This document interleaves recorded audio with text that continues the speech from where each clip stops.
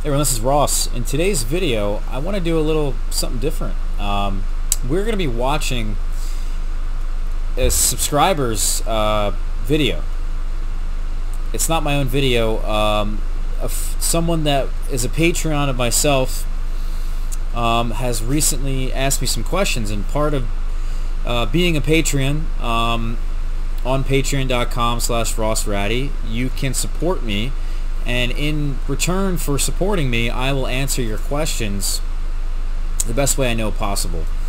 Um, you know, I, I, think I may expand that a bit further and offer different things to different people in the future, but for now, that's kind of what I'm going with. And um, Adam recently has become a, a Patreon, and he decided to ask me questions in the form of a video.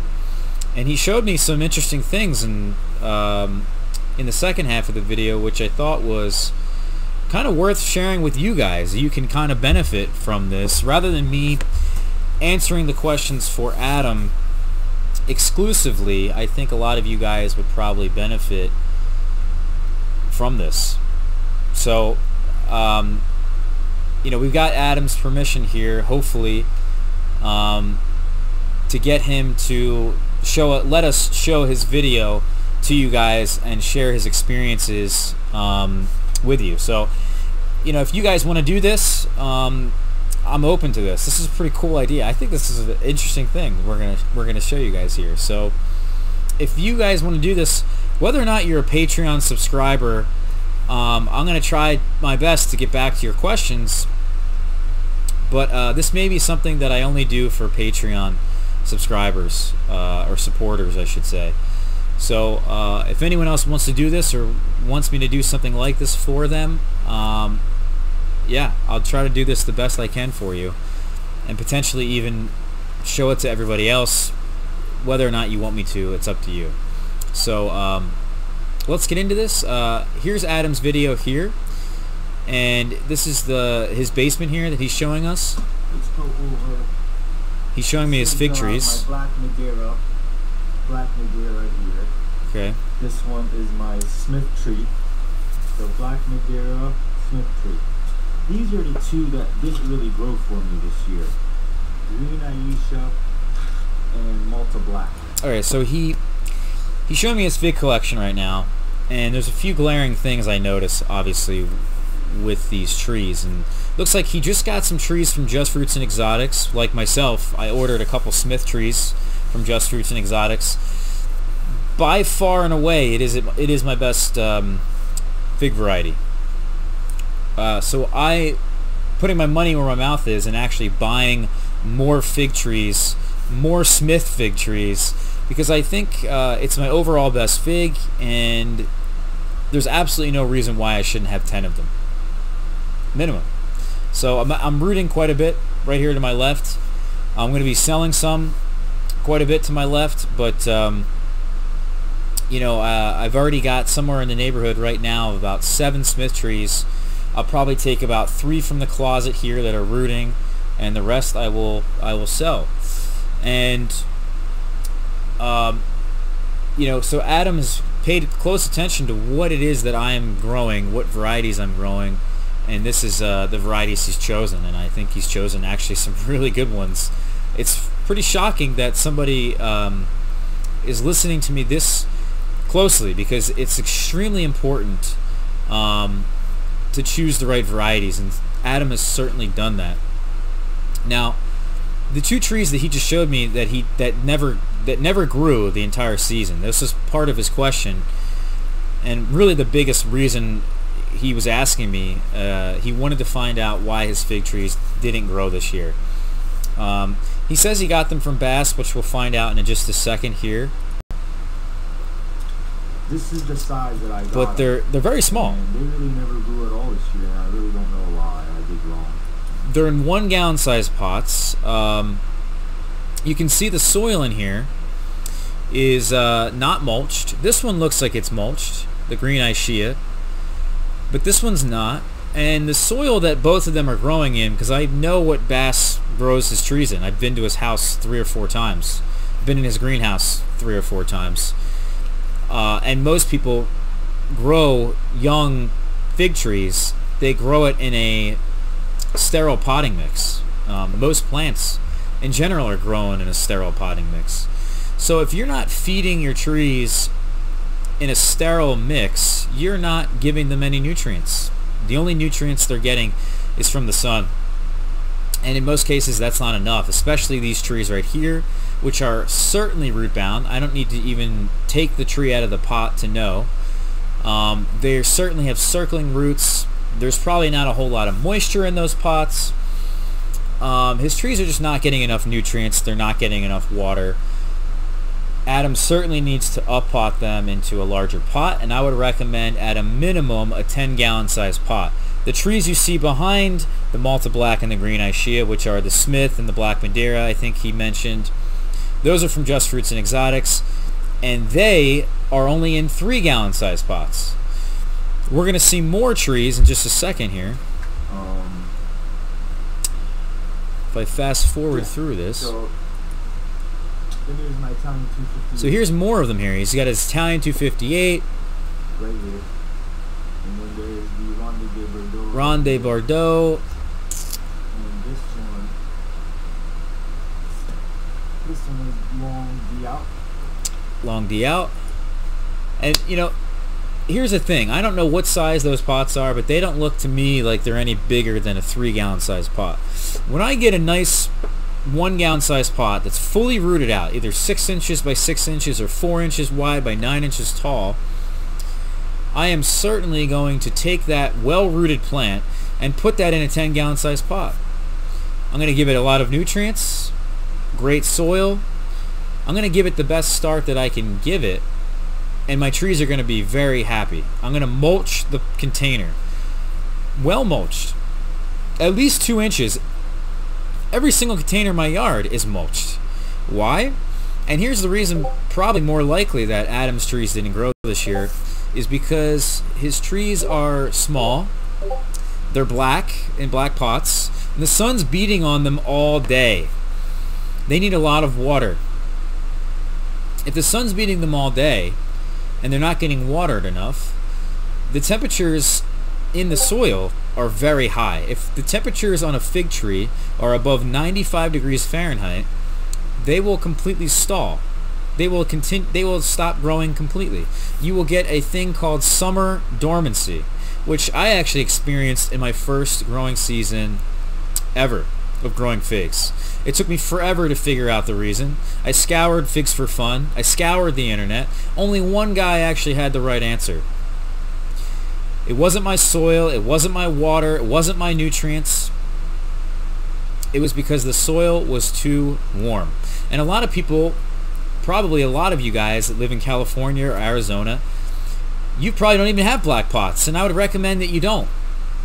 Here in Pennsylvania and probably where Adam lives, I forget where Adam lives, but I think it's somewhere in the Northeast, you don't you need to have black pots, but you also need to make sure that you're mulching the pots. That is going to cool the soil just enough to keep them at a high metabolism without stalling them in a summer dormancy.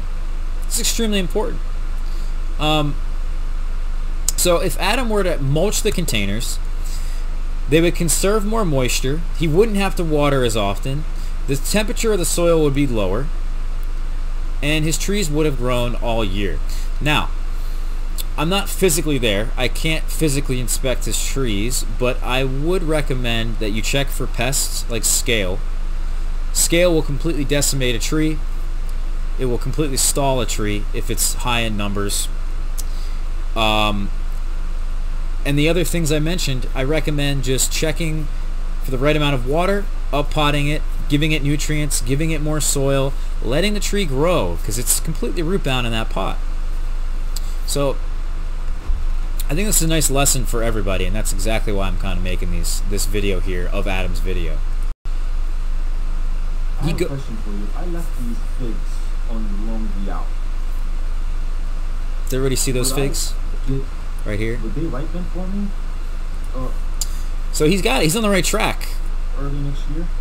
Will they ripen for him early next year? And I've talked about this, but only very briefly. If you leave the figs on your trees throughout the wintertime, you bring them outside the next year, they're still on the tree. they will ripen for you, and they'll be very early. They'll be like an earlier breba, earlier than a breba, which is pretty incredible and really nice. The only reason I personally don't do this is because I live in such a short climate that getting any fig to ripen main crop, it takes a lot of time. It takes about a month, two months for them to set their main crop, to be in a position to actually set their main crop. So if I have fruit on there that's taking away energy from um, potential growth points to then fruit the main crop, then um, I'm kind of setting my tree back. I'm I'm uh, hindering the tree in that way, and I personally wouldn't do that. But I think it's a really great experiment for Adam and a nice learning experience. You get a you're gonna get this fruit really early in the season, which is awesome.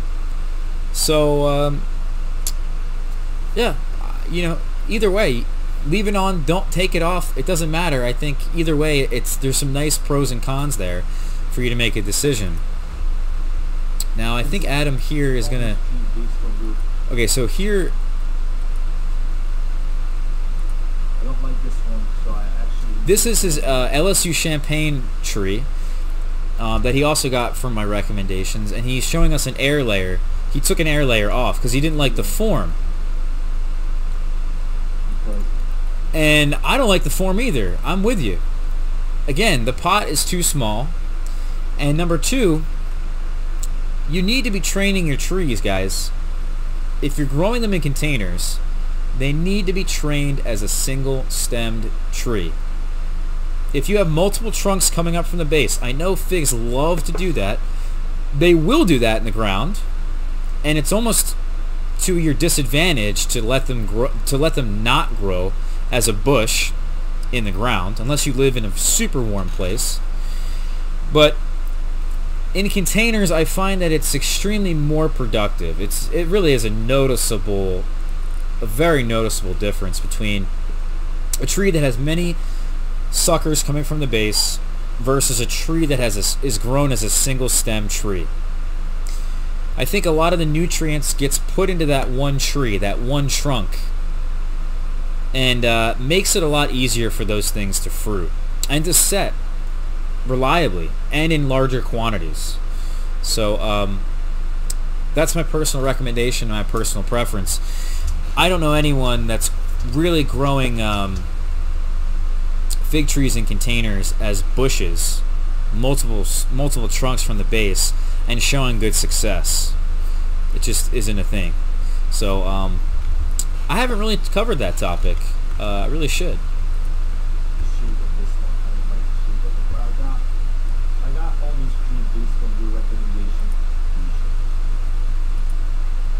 All right, so now he's taking us outside into his backyard, and um, he wants to show me his greenhouse and his raised beds. these are my raised beds. And I was wondering, still and setting them all in leveling them. What kind of dirt would you fill them up with? Would you do straight compost? Would you do a mix of pine bark and soil? How would you do that? Would you do mushroom soil? I'm planning on growing, you know, strawberries in this one, tomatoes in this one, you know, radishes, potatoes, carrots, whatever in this one, maybe corn in that one, and you know, herbs. Okay, so um, I, I don't want to bash Adam here, but uh, I think we can all agree that filming is not easy. First off, his camera needs to be tilted to the side, and you will get that full screen view. But also, it's extremely shaky. It's not easy, right? So, I don't mean to uh, to bash Adam here, but it just goes to show how, how difficult this can be. Um, now, in terms of the raised bed, um, I personally have strayed away from raised beds. Even though I have raised beds, um, I've learned over the years that I would rather not have them. Um, I would have them in one situation and one situation only, and that is to control certain things that I need to control. Uh, control the roots specifically. So things like uh, raspberries and blackberries can send out runners really far away, um, really mess with your neighbors. Maybe even jujubes this may help with. If you're going to grow jujubes, they actually wake up late and they, they tend to send out a lot of suckers. So growing them in a raised bed may help contain those suckers. So that's kind of why I do it um, to this day. But knowing what I know now and redoing all this if I were to do that, because Adam's pretty much got a blank slate in his backyard, right? Um, I wouldn't grow the things he just mentioned other than strawberries in raised beds. What I would do instead, because, well, strawberries, you can contain them in a raised bed, right? They'll send out runners. I like to let them go along as a ground cover. I think they make really nice ground cover, a nice mulch. Um, I plant them underneath my trees. You know, I don't mind doing that. Fertilize the tree, build up lots of soil, add a lot of organic matter, throw on the, the ground cover of your choice, whether it's lingonberries, cranberries, low bush blueberries, um, strawberries. Um, there's a lot of fruiting ground covers, and you'll be all right. You know, um, let them do their thing. You can even put down, you know, a, a, uh, a patch of onions or a patch of uh, shallots or a patch of multiplier onions or a patch of, you know, garlic. I mean, you could do all kinds of really interesting things around your trees that I think a lot of people take for granted. You can obviously see that with my trees. You know, I have a lot of things around the root balls of my trees. You know, I have multiple trees in the same hole. Um, the raised beds, though, I would not plant. I would not grow many things in raised beds because creating your own natural raised bed, I think, is just better. Um, you can certainly use the native soil the native clay, which he very clearly has here. It's very high in nutrients, holds lots of water, and um, you can get yourself really nutritious plants that way. Rather than adding in all this external soil, which could be good depending on the source and what it is, um, things are just better this way. Instead, I would create a, a new bed, which I did on my channel, guys, for those of you who didn't see this. We created a new bed and all we did was lay on cardboard, cardboard straw. We framed out the bed, put down the straw, put down the cardboard, and added on four to six inches of compost. And that's how you create a bed. That's how you create um, an annual gardening bed. So I think that's better. And rather than having a raised bed that's a foot high, like some of mine are, and I think some of Adam's look like they are, maybe even 18 inches tall, I think he's got one that's even taller. You really need to pay attention to the, nutri- the um, nutri- nutrients in that raised bed. You're constantly putting in amendments. Whereas I think you can kind of get away with it more if you're just growing things in the ground. You're creating your own raised bed by just adding in compost. If you just add compost year after year, which you can't necessarily do in a raised bed because it's like a container. You fill the container with soil, you can't add more more soil. You know what I mean? The only thing you can do is keep adding more nutrients in the form of fertilizers and and uh, and micronutrients. So, you know, it's uh, it's not a horrible idea, but knowing what I know now, I would not do it this way. I would not grow things in raised beds. There is one benefit to growing things in raised beds, in especially in Adam's climate, is that you can have access to a lot more heat earlier in the season, getting you really strong, fast-growing, vigorous, highly highly fruiting plants, right? If you're going to grow tomatoes in a raised bed or peppers, you're going to have insane production. You really are. Um, in fact, I really should have a raised bed for that purpose, but I don't.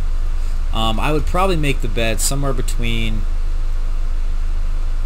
six inches tall. I'd probably make it no bigger than six inches tall.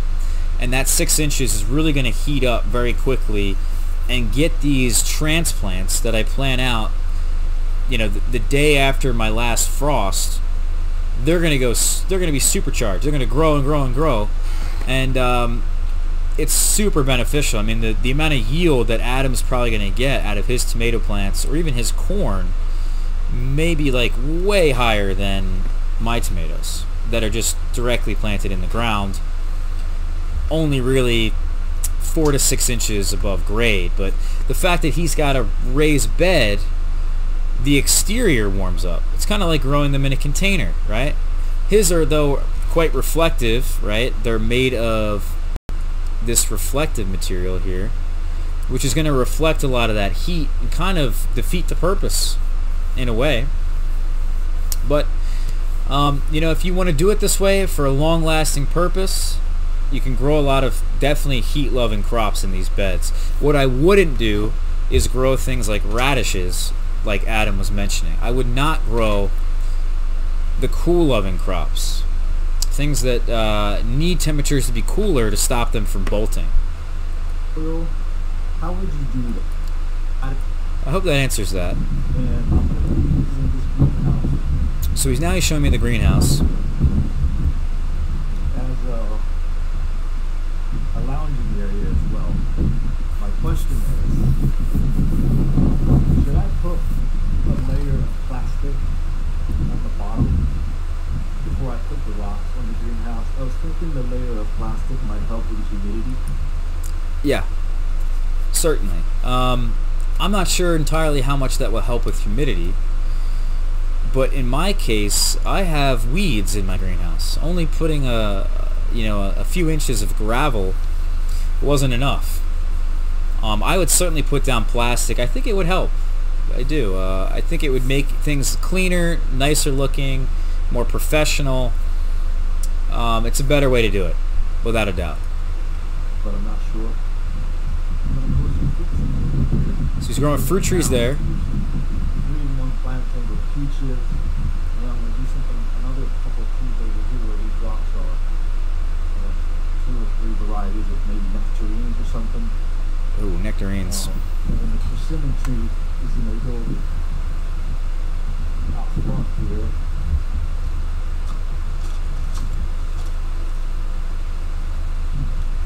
I'm gonna make a five foot tree ring, or four, four or five foot tree ring right here in the persimmon trees in the layer.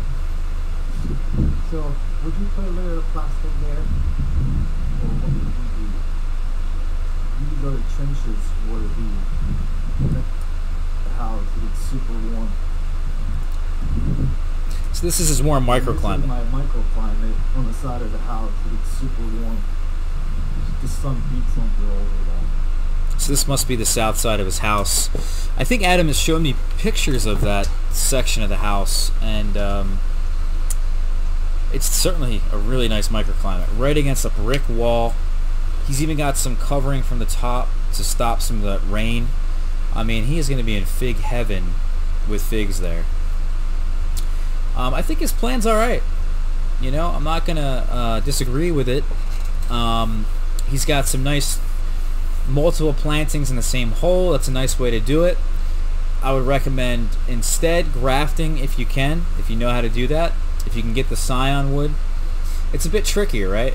Um, but you can certainly make it work and it would be more beneficial that way to have one tree and multiple varieties grafted onto that one tree. Um, not that you can't have good success as I've had with multiple trees in the same hole you know, there's a bit of pros and cons to both of them, and I think uh, one is just really catering to the backyard grower. You know, uh, it makes things a lot more simple, but it also makes things more complex because you need to know how to train these things to give each of those trees their own little area and prune out everything in the middle. You know, it can be a bit tricky.